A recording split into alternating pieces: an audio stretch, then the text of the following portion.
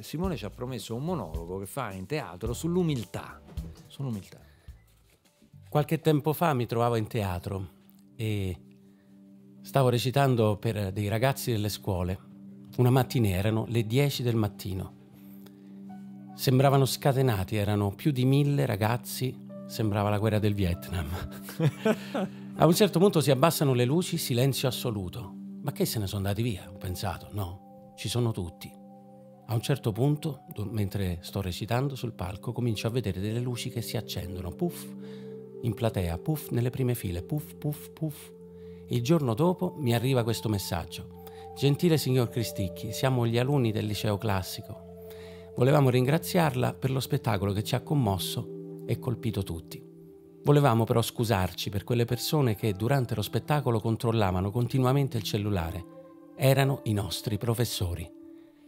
E allora ho pensato che attenzione è una parola strana, vuol dire saper ascoltare gli altri, ma ci vuole una grande umiltà per farlo. Bisogna spogliarsi di tutto quello che ci appesantisce. Così la parola umiltà mi piace perché profuma di terra, viene dal latino humus, significa proprio terra fertile, quella sostanza che rende fertile la terra e quindi se io mi sento utile, umile, riesco ad essere come un campo arato, pronto a ricevere i semi di bellezza e di conoscenza che tutti mi possono donare.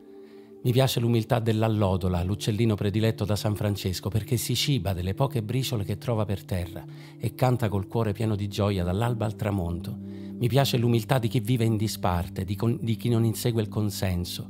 Li chiamo i santi silenziosi, sono dei perfetti signor nessuno, che si occupano del loro pezzettino di mondo senza bisogno di consensi, applausi. A volte è molto meglio un anonimo per bene che un mediocre di successo.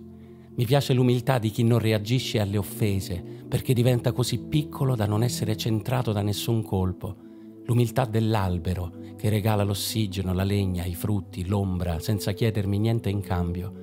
E io tutto questo a volte lo do per scontato solamente perché non me lo fa pagare. E invece abbiamo visto tutti Cos'è rimasto dell'Amazzonia? Amazon. Radio 2